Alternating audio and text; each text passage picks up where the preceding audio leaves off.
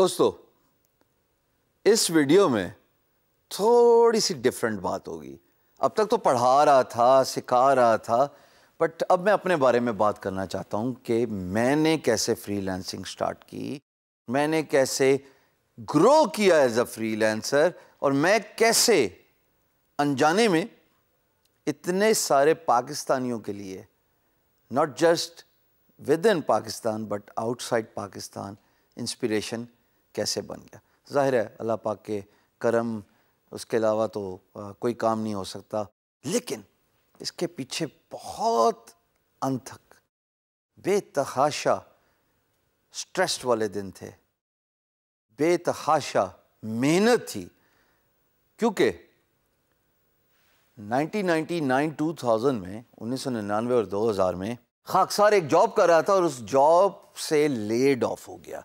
जिसको कहते हैं फायर्ड दुनिया एंड नहीं होगी। अब क्या करूँगा? अच्छी भली नौकरी लगी हुई है। आगे का पता कुछ नहीं। नई नौकरी के लिए अप्लाई करना हो। तो इतना अरसा लग जाता है कि जब तक जवाब नहीं आता रिज्यूमे किसी को भेजो इंटरव्यू के लिए बुलाता, पूरा पैनल बैठा होता था। लेकिन उनको शायद मैं ही नहीं पसंद आया। या फिर शायद अल्लाह ने मुझसे कुछ और काम कराना था। शायद अल्लाह ने मुझे आपके सामने कैमरे में आ करके खड़ा करके आपको, आपसे बातें करवानी थी, आपको सिखाना था। लेकिन मैं अपने जर्नी के बारे में बात करूँगा और इस जर्नी में मैं एज अ स्पीकर बात करूँगा एज अ टीचर बात नहीं करूँगा, क्योंकि मैं सिर्फ़ अपनी बात कर रहा हूँ।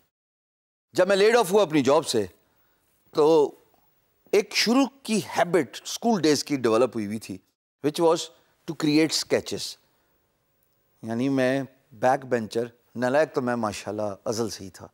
बहुत ही नालायक। लेकिन मैंने अपनी नालायकी को अपने हुनर के आड़े नहीं आने दिया। और हुनर क्या था? स्केचेस बनाना ड्राइंग करना। बैक बेंचर हो के मैं क्लासरूम की ड्राइंग नेचर की ड्राइंग टीचर्स की भी ड्राइंग बनाता था। मुझे हँसी इसलिए आ रही है कि अब आप जब तीस साल पहले अपने चाइल्डहुड पे नज़र षानी करते हो तो सिर्फ़ अच्छी यादें, सिर्फ़ मुस्कुराहटे रह जाती हैं। और आई एम श्योर आपका भी यही एक्सप्रेशन होगा, आपकी भी यही थॉट्स और फीलिंग्स होंगी। कंप्यूटर का मुझे आता पता नहीं था। थोड़ा बहुत मेरे एक दोस्त ने बताया कि विंडोज़ 95 एक सॉफ्टवेयर जिसको ऑपरेटिंग सिस्टम कहते हैं, उसका ग्राफिकल इंटरफेस है। और उसमें एक अदद सॉफ्टवेयर है अडोब फोटोशॉप तुम्हें स्केचिंग का बहुत शौक है। तुम्हारे पास टैबलेट भी है। मेरे वालिद साहब ने मुझे टैबलेट लेके दी हुई थी लेकिन उससे पहले मैं उस पर भी स्केचिंग बनाता था। मुझे तो सेव करना नहीं आता था। आ, बहुत ही बहुत ही नालायक। No digital skill I be honest पच्चीस साल हो गए हैं तकरीबन कंप्यूटर यूज़ करते हुए। अल्लाह पाक ने बहुत इज़्ज़त दी शोहरत दी नाम दिया। आज तक विंडोज़ इंस्टॉल करने नहीं आती। और लोग सबसे ज़्यादा मुझसे सोशल मीडिया में यही पूछते हैं कि are you you know I T guy आप, हमारी विंडोज़ ख़राब होगी काइंडली प्लीज़ विंडोज़ ठीक कर दें। अरे भाई, मुझे क्या पता विंडोज़ कैसे इंस्टॉल करते हैं? मैं तो खुद एक्सीडेंटली इस फ़ील्ड में आ गया। लेकिन एक चीज़ जिसने मुझे अपने पाँव पे कायम और दायम रखा, एक तो ये पाँव है ना, एक वर्चुअल पाँव भी होते हैं इंटरनेट वर्ल्ड में।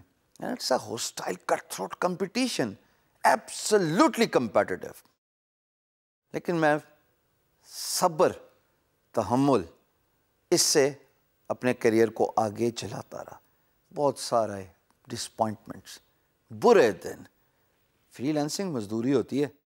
उस मज़दूर की तरह हम, जिसको मैं डिजिटल मज़दूर का लफ्ज़ दूँगा, ख़ताब दूँगा, जो सुबह उठता है काम की तलाश में बिडिंग करता है और अगर उसको काम ना मिले तो खाली हाथ ही सोता है। मेहनत के साथ साथ जो प्री रेकजिट है, वो सब्र तहमल जिसको आप पेशेंस कहते हैं, वो है। स्केचिंग के साथ जब मैंने फ़ोटोशॉप स्टार्ट किया तो मुझे मेरे दोस्त ने फ्रीलांस मार्केट प्लेस जिसका नाम था आईटी मून लाइटर बाद में कन्वर्ट होकर वो गुरु डॉट कॉम बन गई जिस पे मैं बहुत सारा नाम कमाया, बहुत सारा काम किया। ओवर टू थाउज़ेंड प्रोजेक्ट्स किए भाई। देखने को एक आराम सा नंबर है जो एक सेकंड में बोल दिया जाए दो हज़ार, लेकिन काम करते हुए दहाई गुजर गई। लेकिन सिर्फ़ एक एडवाइस दोस्त की कि यार यहाँ पे तुम एज अ फ्री लांसर अपनी ग्राफिक डिज़ाइन की सर्विसेज़ ऑफ़र कर सकते हो। ग्राफिक डिज़ाइन भी क्या आती थी? फोटोशॉप बिल्कुल ना होने के बराबर।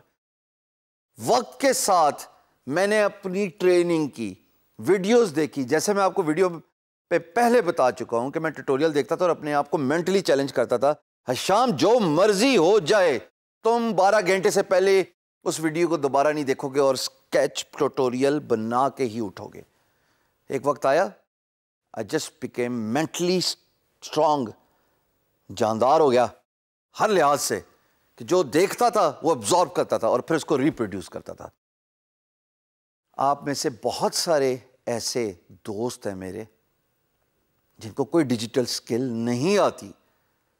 बट दोस्तों that really does not mean कि you should not pursue your career as a freelancer अरे, यही तो बात बताने के लिए वीडियो रिकॉर्ड कर रहा हूँ कि मुझे कोई स्किल नहीं आती थी मैंने बेसिक एलिमेंट्री ग्राफिक डिज़ाइनिंग करते हुए अपने आप को over a period of time improve किया और दस दस बीस बीस तीस तीस डॉलर कमाते कमाते पता ही नहीं लगा कब स्किल एडवांस होगी, कब बहुत सारे लोग मेरे साथ काम करना शुरू हो गए, कब एक दहाई गुजर गई, कब एक मिलियन यूएस डॉलर कमा लिया, कब आखिरी जॉब छोड़ी थी, कब अपनी मर्ज़ी की ज़िंदगी जीना स्टार्ट कर दिया।